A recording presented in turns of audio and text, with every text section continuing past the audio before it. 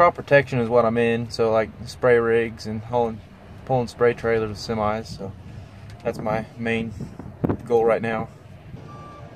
Yeah, um, I came for the crop protection mainly, just to get learn on the fertilizers and being able to do like application rates and things like that.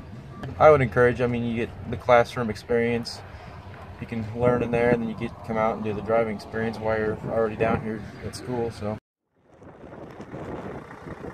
Uh, going into agronomy, I want to go back to the family farm and help run it with my dad.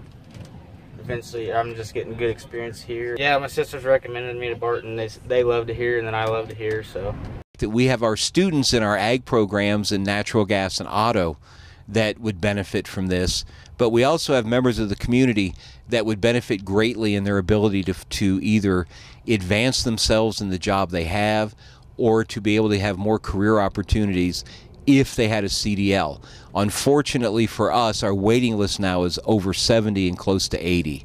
And if we would have another truck, we could add another class and we could work through that a little more rapidly.